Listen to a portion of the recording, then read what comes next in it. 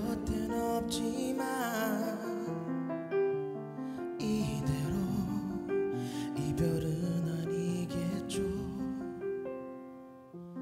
I believe 나에게 오는 길은 조금 멀리 돌아올